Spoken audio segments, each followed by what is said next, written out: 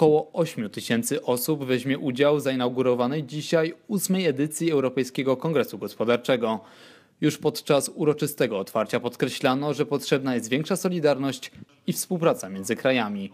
Będziemy rozmawiać o tym, jak w trudnej sytuacji gospodarczej i międzynarodowej zapewnić spójność i budować siłę Europy. Gościem specjalnym pierwszego dnia kongresu była premier Beata Szydło. Zapowiedziała, że priorytetem jej rządu jest zapewnienie dobrych warunków prowadzenia biznesu w Polsce. Dzisiaj mamy ogromną szansę przed sobą.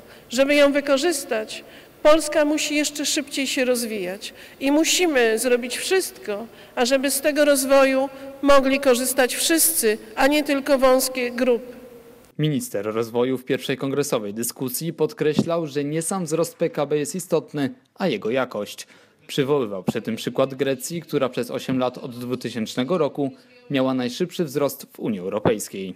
Historia mm, uczy nas tego, że właściwie niczego nas nie uczy. Że wszystkie dogmaty, którymi żyliśmy do tej pory, e, którymi żył świat zachodni, a myśmy je przyjmowali trochę z dobrodziejstwem inwentarza i uznawaliśmy za nieomylne, one e, w dużym stopniu zostały bardzo mocno zakwestionowane. Jednym z wielu zagranicznych gości tegorocznej edycji kongresu jest były prezydent Gruzji, obecnie gubernator ukraińskiej Odessy. Ukraińcy marzą o tym, żeby było tak jak w Polsce, ale również w Gruzji z sentymentem myślimy o Polsce.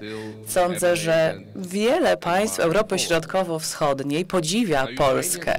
Oprócz paneli i wielu rozmów, w których uczestniczyli dziś ministrowie polskiego rządu, Europejski Kongres Gospodarczy jest platformą wymiany zdań samorządowców z całego kraju. Równolegle odbywał się dziś konwent marszałków.